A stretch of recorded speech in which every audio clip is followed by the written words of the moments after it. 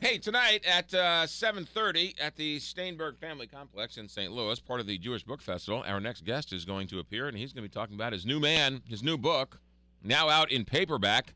The book is called Superman, and let me get the official title here. Superman, the high-flying history of America's most endearing hero, Superman. This is the man who was on the show earlier with his book about Satchel Paige. Larry Tye, welcome back to St. Louis, and welcome back to the Big 550 KTRS. Great to be back with you. First, let's talk about Superman. Many things to talk about Superman, but you basically, this is the definitive book on Superman, the history, how, when, why, and all that? Yes. Um, trying to understand why Superman has lasted for 75 years. He just turned 75 last summer, and why he's our longest lived hero of the last century. And it's what? also a way for um, me to pretend that I'm 10 years old again. If you can call it work, watch old George Reeves TV shows and read comic books for years, not a bad way to make a living. I, I agree with you. Watching old Superman, black and white, the young kids today don't get it. That old Superman with George Reeves is the best. Um, but it, Superman lasted 75 years is because nobody can kill him because they can't find kryptonite now. That's definitely part of the reason. The other reason is that he's evolved more than the fruit fly. The hero who started as a butt-kicking New Deal liberal. In the 40s, he helped take us to war. In the 50s, he was out there looking for a red under every bed along with the rest of America. And about six months ago, in showing that he was keeping up with the times, he quit the Daily Planet and became a blogger. Really? He really did. What? He's a comic books. blogger? But of course, what he quits, he can rejoin the next day. It's all about, and so we could kill him off today and bring him back to life tomorrow. And he's had more lives than any hero, I think, over the last 75 years as well. the, your your book Superman Larry Tye goes into uh, how the creators actually came with the whole idea. Give us a sense of of how they how Superman came to be. Sure. So two young Jewish kids in a neighborhood of Cleveland, Ohio that was 70% Jewish in the 1930s needed a hero in their own life. These were two scrawny kids who were a little bit too short and a little bit too fat and who every day when they went out on the playground would be bullied. And they needed a hero and one night Jerry Siegel drew up his notion of what this hero might look like and it looked like what we see today as Superman. And when we think about where these kids came up with the hero, two kids who needed one for themselves, I think that, I don't know about you, but I know that I've been at times uh, felt like I was alone on the playground and needed a hero for myself. And I think that's the key to the success. It's partly the way he changed over the years to look like he was always a contemporary hero. And it's partly that we all need, we all want to think that when we're out on the playground and somebody's picking on us, that if only those girls were smart enough to see within us, they'd see that there was really, it wasn't really about Clark Kent, it was about the Superman that lies within each of us. That's really interesting. And then they just got this crazy notion to make a comic book out of it. They did, and they were so desperate to find a publisher after five years of trying and nobody being willing to take it, that they sold the rights to their Superman character in every form that he would ever take forever for a grand total of $130 to be divided between the two of them.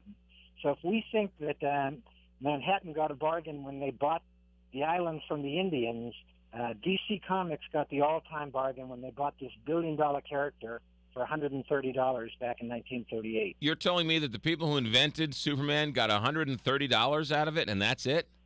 Well, so that's the bad news is that all they got was $130 for the ownership rights. The good news was they were made famous. They were making the equivalent of hundreds of thousands of dollars a year in today's terms. Back then, when DC Comics hired them to write the character, all they gave the uh, the comic book company in the beginning was one story of Superman, and that story over the years helped make them rich, not as rich as they thought they had the right to be, but helped make them also famous. From two kids who might have ended up living in their parents' attic forever, these became two of the all-time icons in the Larry Tye, our guest, his uh, new book is called Superman: The High-Flying History of America's Most Endearing Hero, now out in paperback, and he'll be at the uh, Jewish Book Festival tonight, 7:30 for a book signing and a book reading at the uh, Staenberg Family Complex. You you write in the book Superman that the Daily Planet wasn't based on New York, but on Cleveland. Well, it was based on Cleveland in terms of uh, that being where they grew up and where Jerry had dreamed about being a reporter.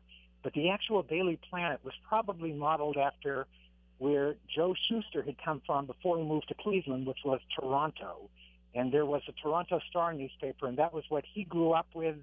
And people think that that may be where the Daily Planet came from.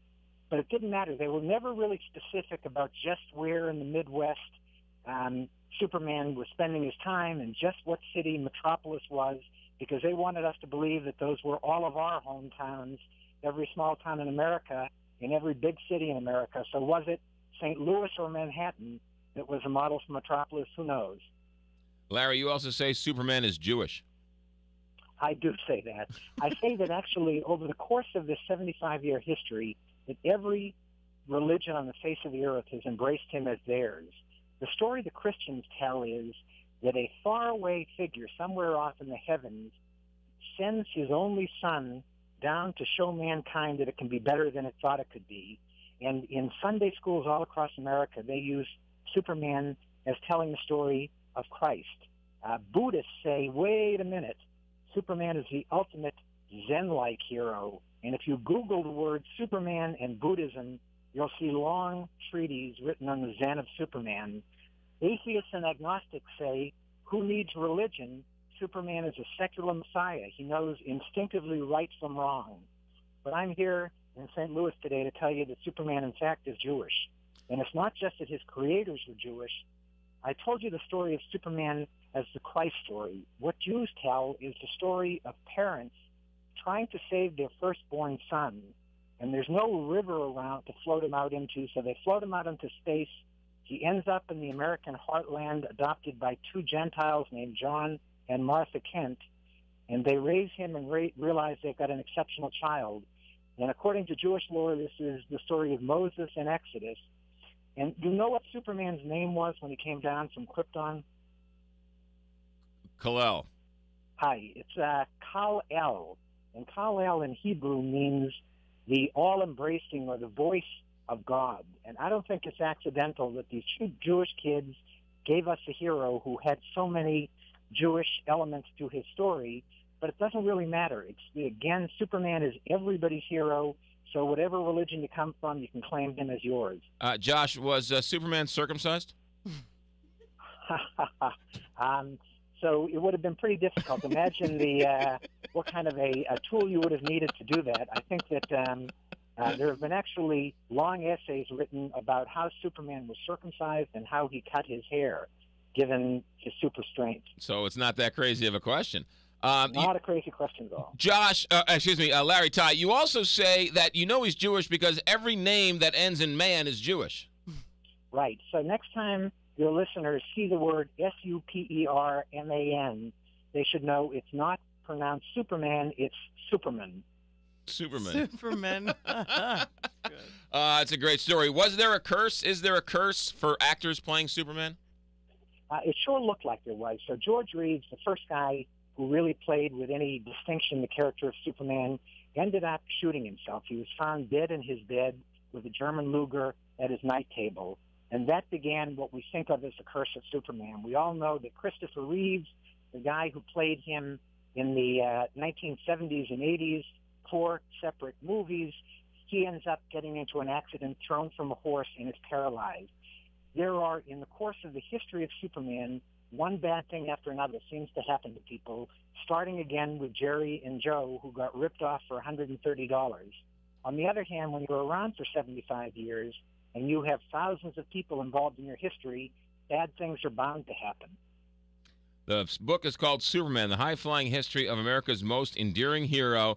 Larry Tye is going to be in St. Louis tonight, 7.30 for a book signing and a book reading. Larry, uh, have a safe trip in town. Thanks for spending a couple minutes with us, and good luck with the book. Thanks a lot. Bye bye. You got it. 847 here, Big 550, KT.